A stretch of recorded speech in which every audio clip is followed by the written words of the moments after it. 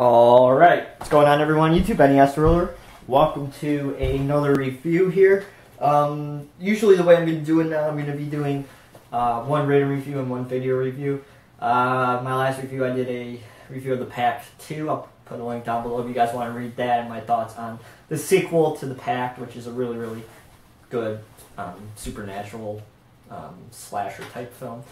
So, film I'm going to talk about today is a newly released film by Wild Eye, and um, it's called All American Bully, or known as The Innocents. Um, this film was released in 2011, but it didn't get picked up for distribution um, until now in 2015. So, um, you know, horror films have always been um, films that always address social issues in some way or another.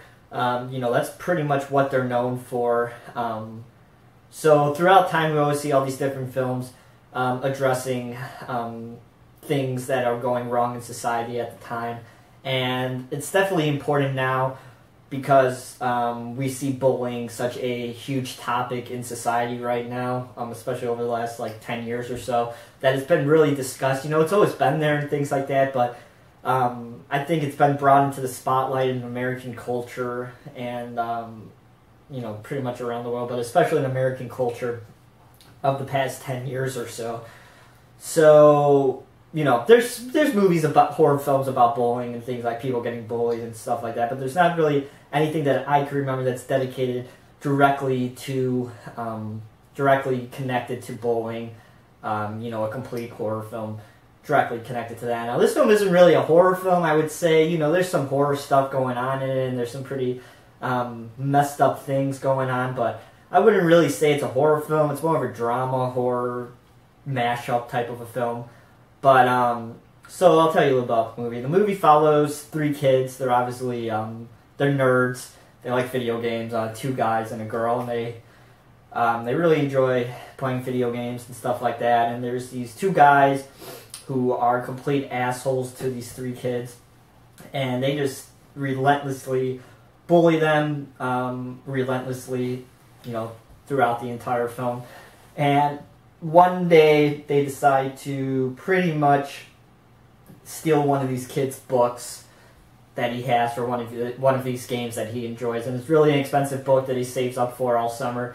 And he, this bully takes it, and the kid goes back to get the book from the bully after school, and he gets the shit beaten out of him, and he is um, videotaped saying "I'm a faggot" on on camera, and of course, they get uploaded to the internet and things spread, and um, he starts to get bullied even more. And then we start to find out, um, you know, some secrets about this bully who was, um, you know, who beat the shit out of him and things like that, and um, their relationship, the kid and the bully, and things like that. It's interesting, I have to say, you know, I think the characters are are likable. The three kids, I think they're extremely likable, and I think that's an extremely important thing in this film that you have the kids who you feel bad for being somewhat likable characters because if they fall flat, I think the film wouldn't work at all. And to be honest, I wasn't a huge fan of this movie. I think um, there was some pretty inappropriate uses of music at some points in the film. I wish they would have um, tried to choose better choices of, of music in some sequences or try to find different music to use in some scenes. I I found that um, some of the placements of where the music was in some of the scenes were pretty inappropriate for what they were trying to get across, and I think it was really jarring and um, didn't really contribute anything to the scenes. Um, that was one of the main things that I I found when I was watching the film that I thought that that there shouldn't be music here. I think you should just let the characters do the talking and I know you know music is usually good in some aspects or another, but I just I don't think it really worked in the scenes that they decided to use it in, and I wish they would have just let the actors um, do the talking for the music, which is unfortunate. Um, I think it, it kind of took me out of the film a little bit. And um, another another issue I have with the movie is that um, I feel like there's some storylines that are, aren't really wrapped up at the end of the film. They're just there and they're hanging. Um, of course, this film has Adriana King, um, Adrienne King, who is from the uh, uh, Friday the Thirteenth films, and um, you know I've met her like three years ago. She's probably one of the nicest people I've met at any convention. um, that I've been to. She's just, she's such a sweetheart, and you know she hasn't done many films, and you know since Friday the Thirteenth, you know she's done some, but she really hasn't done any. So um, that was the main reason why I wanted to check this one out because I was just curious to see um, where she was going to go in this film and what her character entailed. And um, there's a story in it with her and her son who's gay and he drops out of school and it just really never goes anywhere and it never gets I don't know why it's in the film to be completely honest you know I see where it was trying to go sort of with this whole bullying and being gay and leaving school because he's gay and things like that but I, I just don't see where it was going with her character because she's this principal and she's trying to protect the kids because she feels like she failed her son because he's gay and dropped out I guess which doesn't make any sense because what is she just a bully herself that she doesn't accept her son being gay? But um, so you know i just feel like that storyline between her and her son